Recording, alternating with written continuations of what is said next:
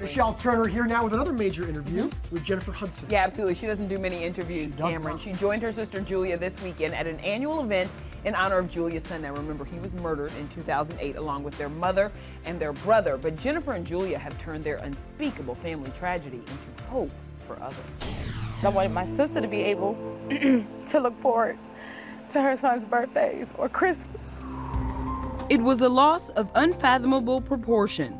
On one day, Jennifer lost her mother, her brother, and her seven year old nephew, Julian, all shot dead in Jennifer's hometown of Chicago by her estranged brother in law, who is now in prison.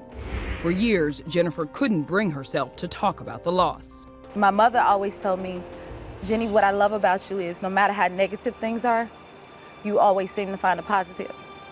But finding the positive wasn't easy. And so I was like, well, wow, what if we gave to the children of Chicago? And then therefore, So, six years ago, the two sisters came up with an idea to turn the family's tragedy into a triumph of the spirit.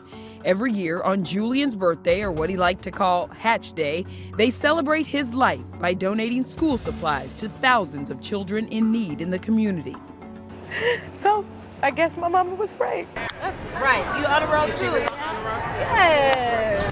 Julian was a scholar of a child, you know, uh, as a student, and he was a giver as well. So Hatch Day represents everything about him.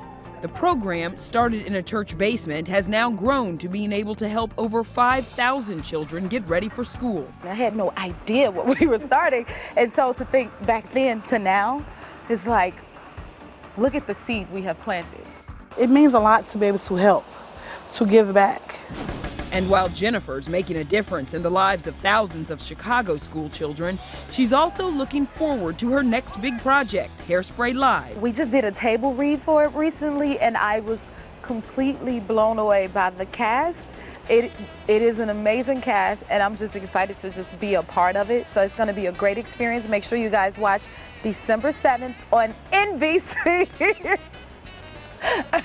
yeah, but it's going to be good. It's going to be fun.